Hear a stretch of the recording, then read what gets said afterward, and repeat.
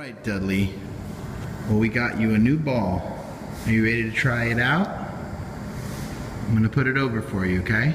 Here we go. Here we go.